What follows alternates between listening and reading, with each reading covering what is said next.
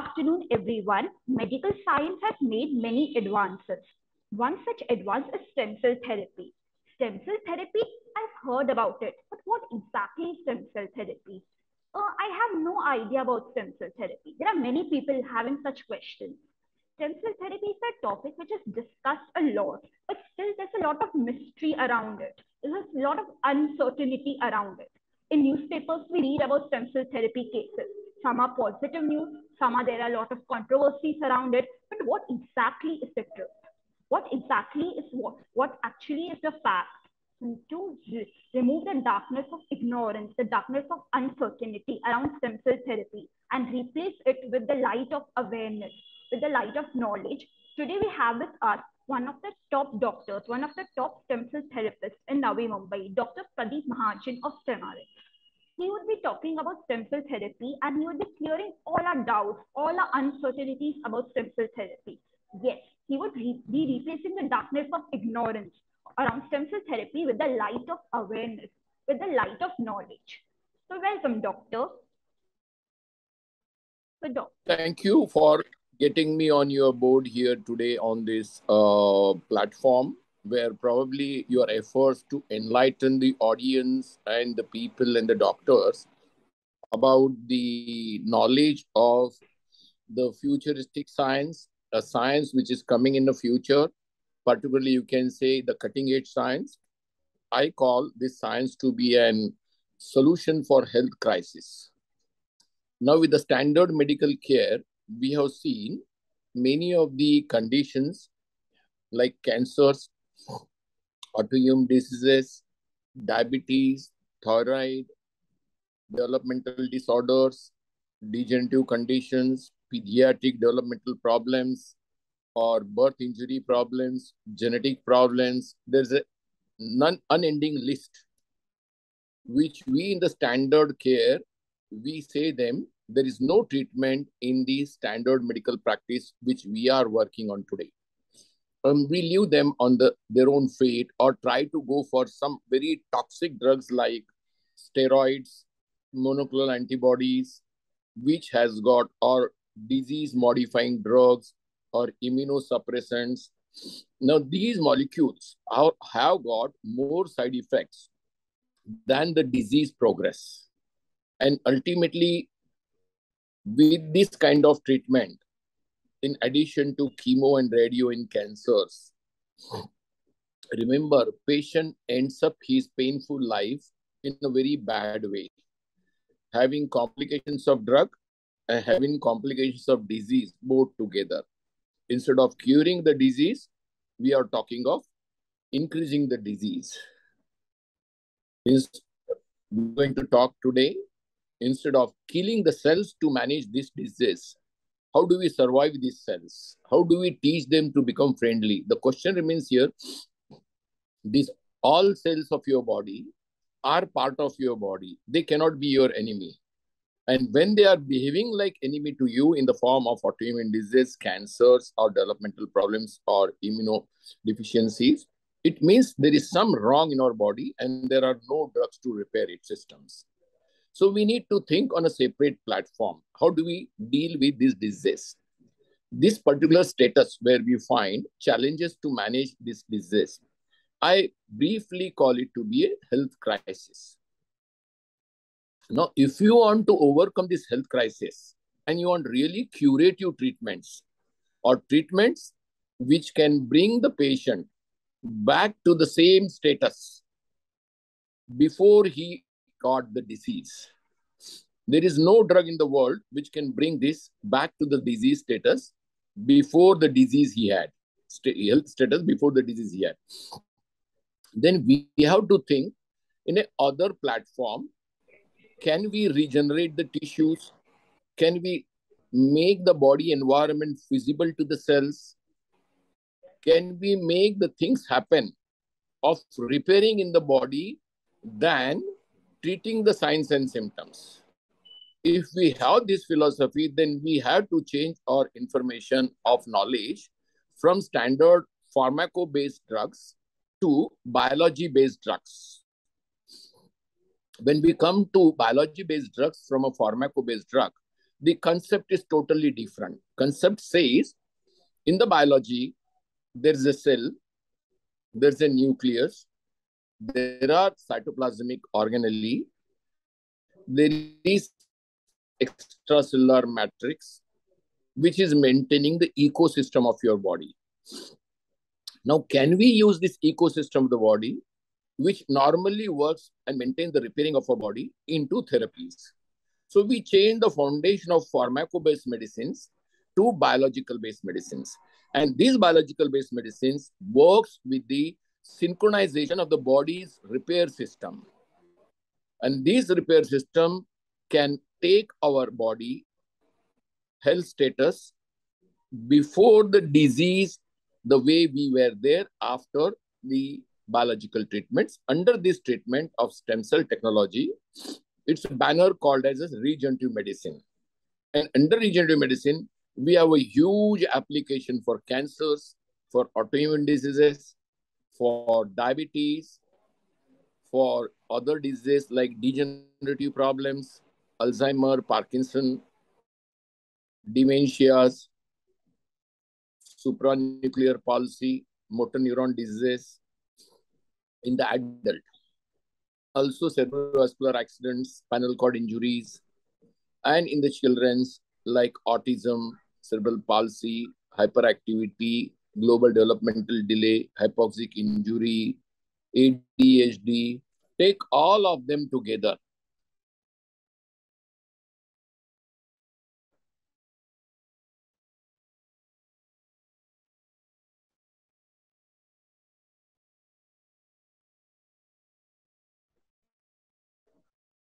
Yes. So looking at all these diseases, with the standard medical care, we use a pharmaco-based molecular medicine or pharmaco-based drug medicines. We just treat signs and symptoms. The disease in the body keeps on progressing. For your example, in diabetes, taking insulin oral anti-diabetic medicines are dealing with the insulin, not with the pancreas and microenvironment of the body, which has brought the disease to me. Here we are talking to change the microenvironment and improve the pancreatic function so as we become back as if before diabetes we got it. The concept is changing the disease management from symptomatic treatment to curative treatment, reparative treatment, regenerative treatment, replacement treatment. This is something cutting edge science, which we are looking today, changing the medical science changing the future of medicine applied with these kind of sciences to all the diseases which have remained as a challenge, which I spoke just now. So we are looking as a futuristic platform. How do we repair the bodies? How do we change the microenvironment of the bodies and cure them from the molecular level? That is what the idea is in this new science. Yes. Thank you so much, doctor, for sharing your wonderful insights.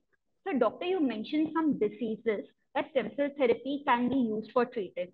So, are all these diseases FDA approved or they are still under clinical trials? We are talking, this question is a very primitive question.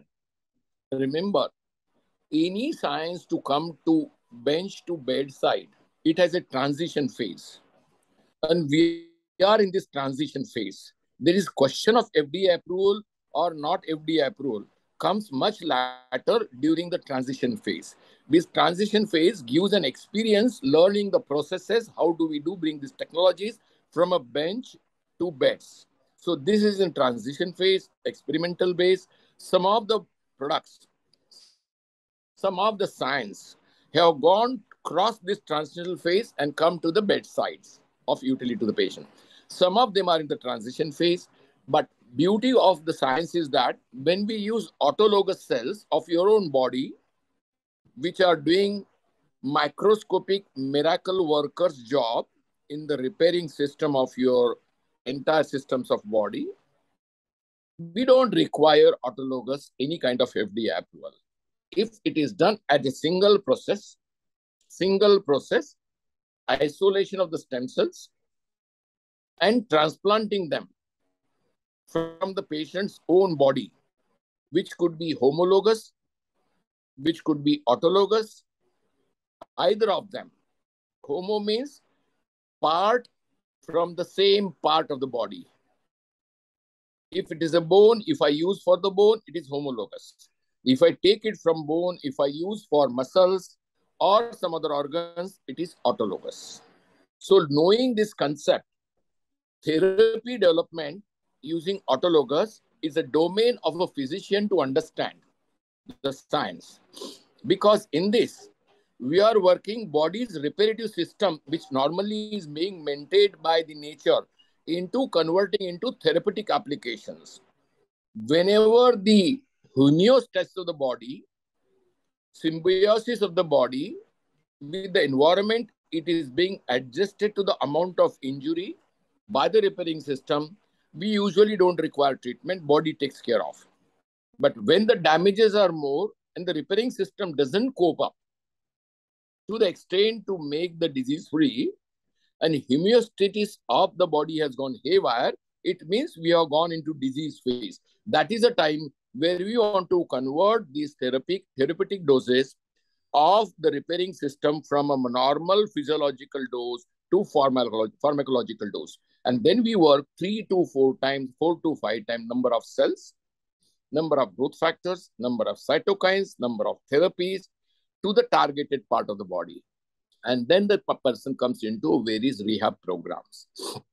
This brings a reparative system into action with multifold strength to repair, cell force to repair, cytokines to repair, chemokines to repair, bioactive molecules to repair, exomes to repair, then you get the pharmacological effect of these molecules.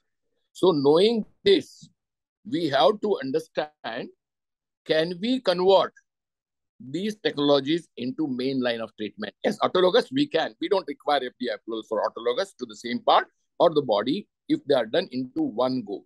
But when you want to sell the product in the market for treatment and use allogenic, or you do some processes on the cells in the lab, then it comes as a product. Then we require FDA approvals. I think I have made very clear yes, on the yes, concept doctor. of regulation, FDA approval. How do we deal with that? Because one of I was one of the members who has guided the drafted the guidelines for the government of India. Next.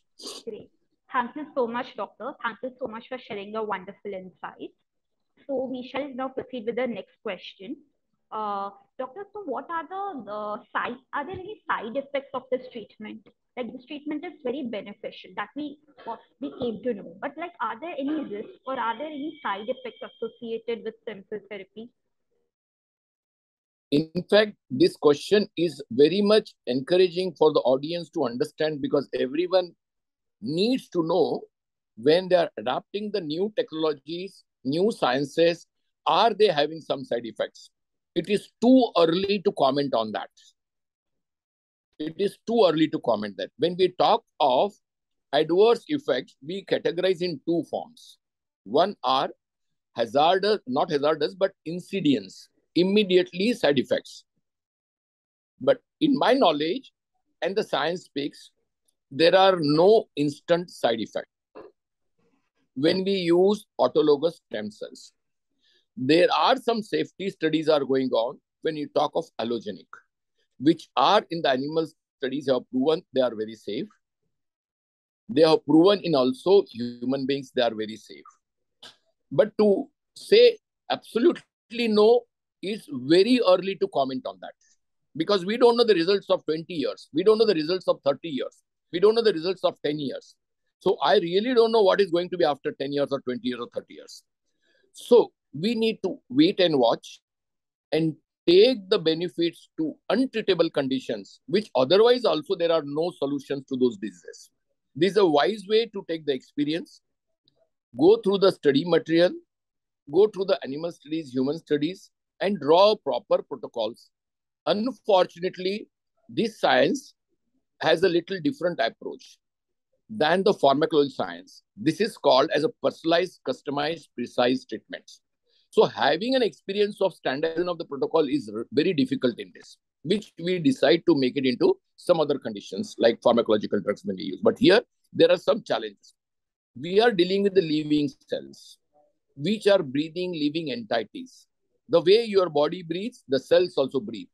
So never forget, your handling will decide, your environment will decide, target delivery will decide, the count of the cell will decide, when to give the treatment will decide, the in environmental factors like temperature, hygroscopic action of water contained in the environment, pollutant in the air, and the materials we use, reagents we use, medias we use for developing them does affect that.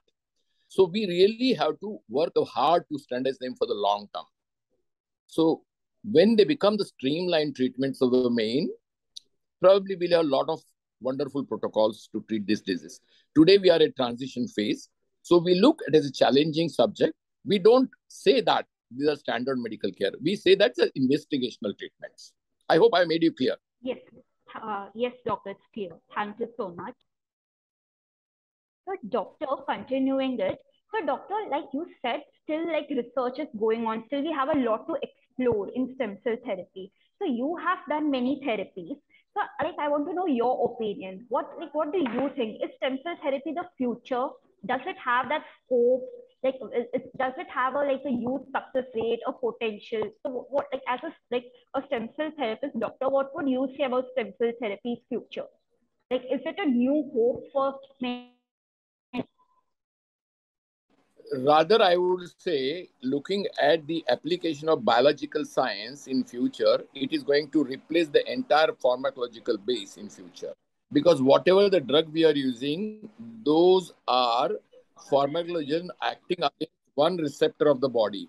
But when i'm talking about the technology which is required here using stem cells and growth factors of regenerative medicine this is a multi-folded molecule, living drug molecule, which has action on multiple receptors at a time.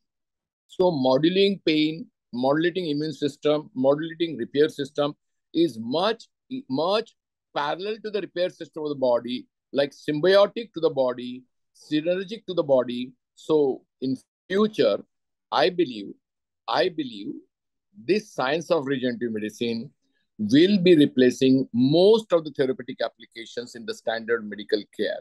And once it comes in the mainstream, we will find out solutions to the big unsolved questions of today of various diseases. Why and why we can do it.